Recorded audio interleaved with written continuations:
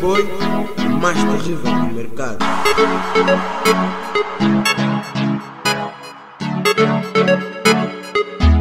TM Produção